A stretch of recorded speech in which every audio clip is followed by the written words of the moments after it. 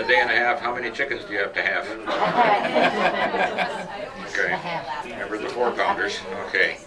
And it says you want a light. Eddie, what the hell are these? I, I know, aren't those nice? I got those for you. And what am I supposed to do with them? Okay. Right? Never used one of those knew Never use before. And you. you, you don't want to insult the chicken totally because you got to have some stuff to float.